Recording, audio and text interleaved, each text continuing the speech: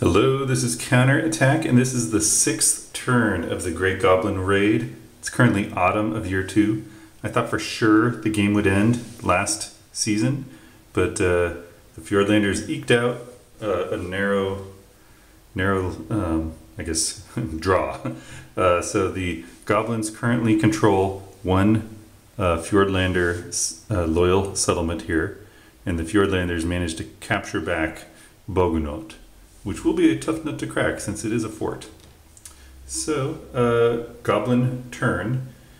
First things first, do they want to lay waste to their last settlement? The answer is no. Okay, um, then they have to pay their last gold, last gold, uh, to keep that settlement alive. Okay, now uh, they don't have any um, locked heroes, but we're gonna ready all their units. All right, they absolutely need money if they're not if if they're going to continue into the next season, which will be the final season. So they have to win this season or next season. They absolutely need money.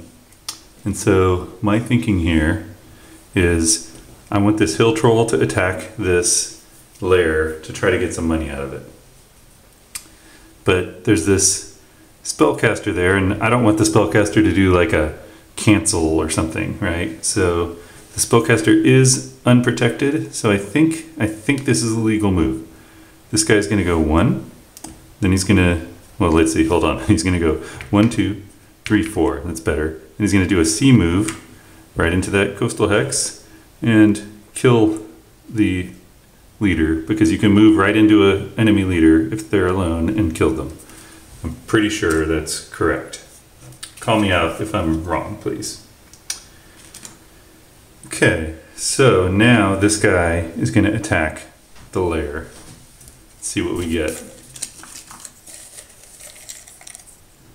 Hopefully it's not a repeat. It is not, and it is terrifying. It's a Drogbeer. Looks like some kind of undead dragon worth a lot of coin. Not exactly what I wanted. But a monster only needs one hit to kill, so could be okay. Thinking about this a little more, this is not okay. The Dragobeer has ambush, so it gets to strike first. It has a range, I guess from a breath weapon or something, uh, which means it wins ties, and it's a spellcaster. And so it can cast Fjordland spells, it's under the control of Fjordland.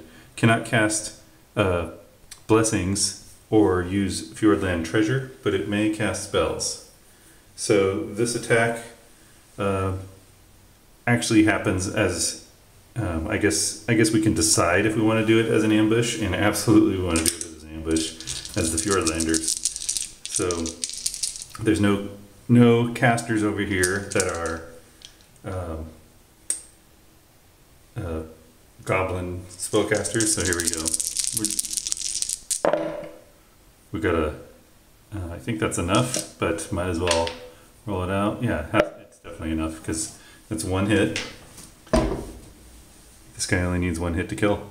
Now, in, remember, in ambush, you strike and then strikes back uh, if they survive. So he did not survive, so can't strike back. Wow, uh, this guy possibly could win the game for Fjordland. You know, that is a powerful creature. Why would I say that? Well, on Fjordland's turn, this monster can do a strike because it's flying up to three hexes. It's flying because the little wings there. So it can strike up to three hexes away and maybe snipe this guy out, right? But uh, we'll, we'll see how that goes. It's Goblin's turn right now. Okay. Finger cutter. Finger cutter on the move. These guys go three, but ignore the mountain costs. So one, two, three. We're adjacent to Odgervik. Gonna do an attack. Let me see what the battle magic situation is. Um, I think if this is to be cast, it has to be cast now before battle magic starts wasting spells. I think this is from Fjordland. Um, oh, wait a minute. Fjordland doesn't have a spellcaster anywhere near. Let's see. One, two, three, four. Ah, yeah, they do. Uh, Cancel an attack or strike against target hex. One, two, three, four. Oh no, it's just out of range of their one hero. Okay, but just for rules purposes, this is cancel an attack or strike against the target hex. I, I think that should happen before battle magic because otherwise this guy would cast a bunch of battle magic and, and it'd be big waste. So so uh, never mind. They can't do that. It's out of range. Finger Cutter is going to wield Soul Drinker. Its blade flashed white as it bit. Okay, so uh, it's not um, in combat with another hero, but it does gain one white die. Um, actually, I'm to put that. Yeah, so I put that in my tableau to indicate the treasure has been used, and I can't use it again until I pull it back into my hand. So uh, yeah, so here we go. That is three white dice and a black die.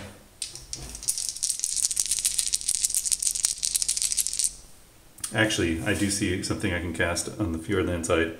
They're going to get a black die. Um, there's no mage required here, so just to remind myself, I'll throw the black die there. Okay, so they're casting Shield Wall. One hit. These guys. Two hits. That kills the hobgoblins or finger cutter. I'm going to take the hobgoblins out. Is that right? That way I can still cast spells with finger cutter, possibly. Okay, there's not much else we can do. We just got to go all out here. Hobgoblins attacking the port.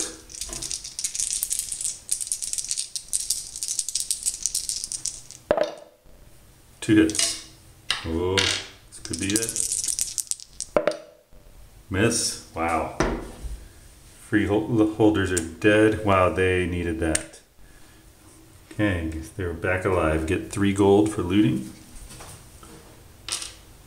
Take control. The income of the uh, Fjordlanders goes down. Wow. One interesting thing, the rules aren't super clear to me, but in this area, so I'd be curious about advice from the designer. If these goblin warriors go up here, in order to attack here. Can they do that? Or do they have to take on the state of the leader underneath and become spent? Wasn't 100% sure on that from the reading of the rules. So just to avoid like pure cheating, I'm going to come over here. We're going to see if we can get another attack in there.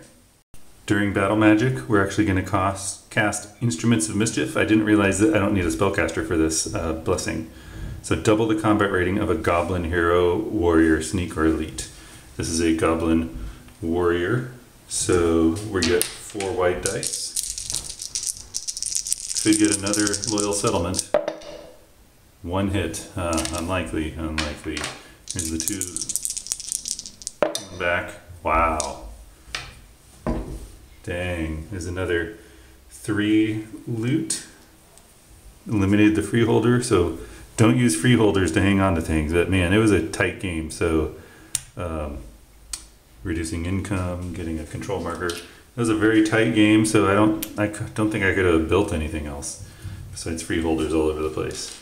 Okay, so that was pretty key there. Um, yeah, so we got a bunch of money, but not a lot of good places to build units. In fact, no places to build units right now. Let's see. Okay, we're just going to try to hold on to what we have, I think, here. So let's see what we have down here. So this guy, I can heal the Hobgoblin for two. I have six gold, flush with gold. Recover him for two. He's not besieged. There's only one enemy next to the port. So heal him for, for two. Um, I think we're going to build two Goblin Warriors for two gold. Just to put some a barrier to the east of Astrid Fjord. This place will probably fall over there, yeah, but um, this could fall. I'm trying to think what, what I can do here. Something to get rid of this guy. This might be highly questionable. I'm going to spend the last two gold to build a hero. Good, it's a caster, it's Weasel Eyes. I want it going right here, and this unit hasn't even moved yet. Uh, I want a caster over here for reasons. Um, you know, there's interesting spell I could use to cancel an attack. So I'm trying to just protect my, my area. Um, yeah, so that was my last gold. Weasel Eyes. He's a caster. His stack wins draws in combat. A draw is when neither side gets a, a hit. This guy, he's just going to go like this. Just blocking, get trying to prevent too many attacks from getting in here. So I'm down to one unit. Um, I could, I think I do have some spell situations I could use. Oh, I have two units. One, one back on the island here, which he's definitely not going to move, but I, might, I haven't spent him yet. I actually have a couple guys here. You know what? I'm not going to get this place back. Let's send in the mountain troll. Just raze it to the ground if we can. That's what we're going to do. There is a spellcaster there, so I better check what's up. Uh, what's this lady's name? Lieva. She's casting Cloud of Darkness. Discard a spell. We'll discard Tidal Shelter to cancel the attack. This guy's going to go one, two for the river, three for the razed settlement, four to join finger cutter, and I'm pretty sure it has to go uh, spent. Not 100% sure, but pretty sure. Okay, finally, we have this one last guy over here. Now, we're not going to spend any spells, we're going to save them. Alright, that is the goblin's turn. Probably their last turn. Hard to say though. Here they go. What do we have here?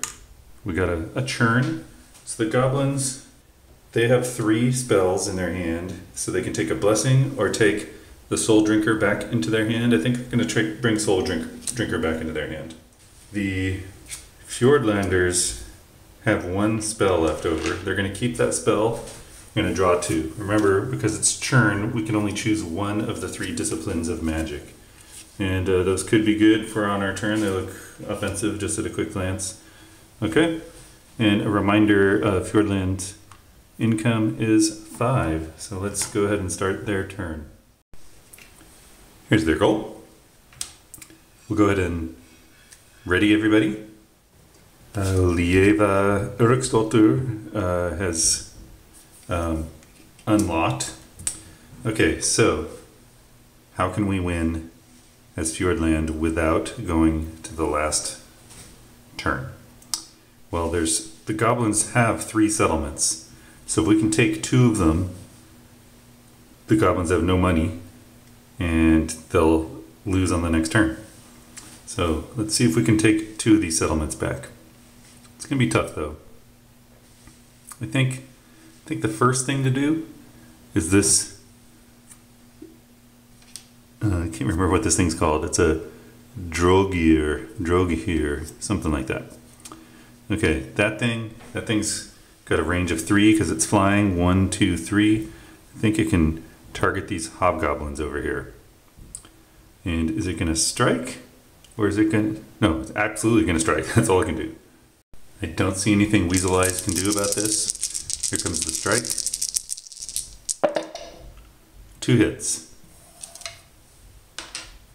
Here's the defense. One hit. We could sacrifice Weasel Eyes, but I went Weasel Eyes there for defensive spellcasting. So we'll flip the Hobgoblin. This uh, Drogue here um, is spent. Okay, let's see what else we can do here. I think this guy, he's going to take his sea move because he's Fjordland now. Go one, two. And attack these goblin warriors.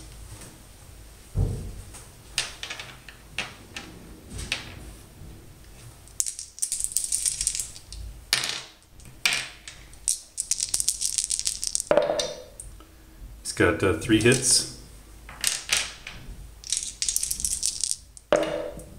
Uh, no hits. So uh, I was.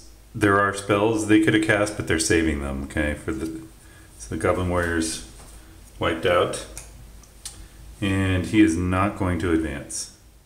One thing I do when I play games like where the enemy can react is I, I try to tempt them to spend themselves, right? So I'm sort of tempting this guy to to use defensive spells. I'm trying to purge from my mind what the enemy spells are. I'm just trying to play as I would normally, even if with that, if I, as if I didn't have that knowledge. So I might come over here and try to attempt attempt another um, spell wastage. So uh, I think we're going to build some Sea Reavers here in Velstoft, finally building down here on the other side of Halgyr Bay. Uh, they cost three, so we'll spend our, our last five, get two and change. And they're going to use a sea move to land here in the mountains next to Od- Odgrvik. And they're going to attack. We have no spellcasters within range. Is that true? That's true. Let's see if the goblin uh, finger cutter wants to cast a spell. There's only one that's appropriate, and I think we're going to save it. Okay, so here comes this attack. Got some Sea Reavers. One hit. Defender. No hits. Wow. Uh, this is a fragile unit. We will loot that hostile ter territory, take two back. We get our, come in, get control back of our territory, get one income advance. Okay, we just need to knock out one more settlement to win. Okay, I'm kind of playing this like chess now because uh, we're down to the wire here. So let me tell you what I'm thinking here. I'm thinking this guy over here, he can actually get right there to attack. This guy, of course, can attack, but if he does, he'll block him from getting over here. He can walk over here and attack, but then blocks this guy, assuming this guy comes over. So I think so. These are the two best units to attack here, though. So that's what we're going to do. So he's going to start here. I would have rather him go second because I, you know, I know what the spells are, and I, but I'm playing as if I don't know. So he's going to do a big attack. Theoretically, that's a great attack, but somewhere in here during battle magic, target attacking army becomes finished. This combat is canceled, and I can't do anything about it. But that's how I would play if I, if I was against an opponent. Okay, so now this guy will come down uh, one, two, three. He can go four, and then he'll slide over here, and he's going to attack too. Um, there's a spellcaster, ranged. So let's see what kind of battle magic we're going to do. Okay, uh, the attacker is not going to cast a spell. Just a reminder, it's kind of down to the wire here, so let's check this out. Battle magic, the attacker may play magic. The defender then may play cantrips, then the attacker may play cantrips. So they're not going to play magic in step A. Okay, they want the defender to show their hand. Okay, so the defender is going to cast two cantrips. Cantrip one, they're going to use the uh, Soul Drinker. Uh, it is against an enemy unit, so they're going to get three white dice, two other white dice, natural white dice, and you know, here's the natural ability, and then Soul Drinker's adding three. Wow. Um, I guess I should have remembered that if that my enemy has Soul Drinker in their hand. But uh, yeah. Okay, and then they're also going to cast uh, Army and Caster's Hex gains a black and a white. So they're going all out here. Look at that for defense. So uh, the, it eliminates the caster though. So I'm sacrificing while Weasel Eyes which may or may not be a good idea because he does he can absorb a hit. But look at all these dice, okay? So now the attacker's cantrips. We're gonna play Heat Ray. Target unit, monster, or garrison reduces its combat rating by one, one black. So we'll remove a black.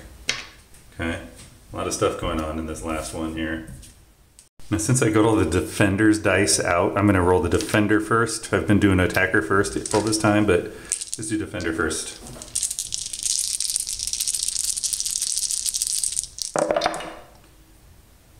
Wow.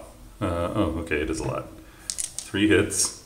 Let's see if that seven explodes. It does, four hits. Defender has four hits. Put that there. We cannot win, but we can reduce the hits. Two. Honestly, I think I would have preferred to not reduce the hits, uh, but I had no choice. So I reduced them to two hits. Um, that's going to leave someone behind. Um, it'd be nice if they were wiped out, because then I can sail someone in here. Well, I think we need to keep the spellcaster, so this guy's gone. Well, it's not going to matter. It's not going to matter. Okay, so let's see. You know, kill the ranger. Let's see what else we can do here. That that might be the game. Okay, I think there's only one last possibility. Still requires a chain of events. We have four gold left. We're going to build them in Attakirk. Uh, some sea reavers. Cost three. We're down to one gold. They're going to sail up to here. And there's a little river here, right? So I could attack across the river, but I'm going to use my two moves to get into the mountains. We're going to attack this guy. The whole point of this is we're trying to make a space here for someone to sail around over to here. So let's see if we can do that. Uh, there is a spellcaster nearby. Nothing they can do about it. Okay, so let's get the Sea Reaver attack going. And if I can clear these guys, you know, there's no, there's no way, yeah. You know, there's, there's a chance. There's a slight chance. So they got one hit on the goblins. Goblins missed. That is open terrain. So did kill the goblins. We're not going to advance. And then these sea reavers here are going to go one, two, three, four, land here, attack here. This is the last possibility. Oh, oh, critical hit. Critical hit. Yes.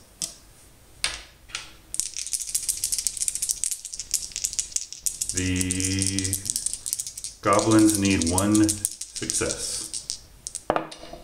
They didn't get it. Oh my gosh. Goblins eliminated. The hobgoblins. They lose their marker. The Fjordland loot back, move in, their income goes up. All right, let me assess the situation. I am uh, declaring Fjordland the winner. And here's why. Let's just say they ended their turn now. They have a little bit more they can do, right? If they ended their turn now, there's one turn left. Uh, the goblins would have to pay one gold at the beginning of the income phase, or in the income phase, to pay for their only one settlement they have, and they have no gold. And there's no, there's nothing on the board. There's no spells or anything that could like magically give them gold. So they would collapse. Okay? So rather than like force us to watch all that, uh, yeah, game over. Well, I really enjoyed this. You know, I, I don't get a lot of joy out of uh, solo play, but this game is really neat. Um, some some things that I sort of learned is uh, monsters are actually good. Um, like especially if you can get a wandering monster, they're good for striking, so that's nice. Uh, but super important are leaders. Like I found every time I didn't have a leader, like I was hurting. I'd have all these amazing spells and I couldn't use them. So having leaders is super important. I probably didn't give them enough importance um, early. Uh, I really like the different traits of the uh, factions. The the the Fjordlanders' ability to sea move is really awesome. I don't know how they'll play on a, a map that there's not a lot of water on, though I imagine most maps have major rivers on them, so maybe it doesn't matter. Um, but um, I also like the swarming nature of the goblins. They're like so cheap. You just you can swarm. Uh, I obviously made a lot of mistakes in this game, and hopefully I didn't make too many in this last play. But yeah, really really cool, really cool, and balanced. Now, did my did the way I played made the mistakes cause you know impact anything? Probably, but but it feels very balanced. It was a nail biter most of the game. Interestingly, I think my uh, gameplay here uh, made the designer reconsider a rule. Uh, so go check out the errata on Board Game Geek. But um, I built a huge unit in a friendly settlement, and it razed it right because huge room units raze. Um, I also did a, a, little bit of like voluntary razing of uh, welcoming settlements, and that really hampered the goblins. Okay, so uh, mid game, he had cha- he has issued a, a correction to the rules to sort of eliminate something that sort of not caught in playtesting. Um, I, I think it's perfectly fine though. Uh, the this modification he's making. So yeah, no longer can you just like raze your own settlements. Imagine if if I just made made this guy early in the game and just like flew around to each of my settlements and squashed them, right? Like it would sort of invalidate uh, the goblin's victory conditions with through a game mechanic. So uh, anyway, go check that out. I am super excited to try this live. Uh, what that is with other folks, and I think I'm gonna try to play a two mapper and three to four factions when I um, play with my gaming group live. So we'll see how that goes. All right. Well, if you watch the whole series, thank you very much.